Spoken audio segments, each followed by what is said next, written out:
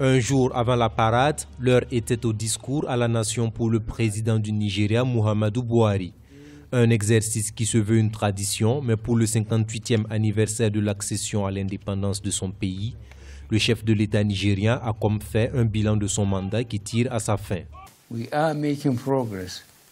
Nous progressons dans la lutte contre la corruption et la récupération des fonds et des avoirs publics volés en dépit d'une résistance féroce et sévère.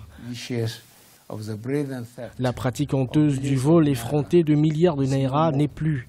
Les contrats pétroliers douteux et les contrats publics jamais livrés sont devenus des choses du passé.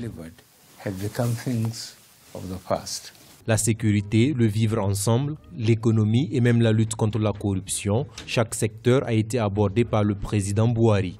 Son allocution a par ailleurs pris des allures de discours de campagne électorale. Je me suis engagé à plusieurs reprises pour que les élections soient pleinement participatives, libres et équitables, et que la Commission électorale nationale indépendante soit exactement indépendante et dotée du personnel et des ressources nécessaires.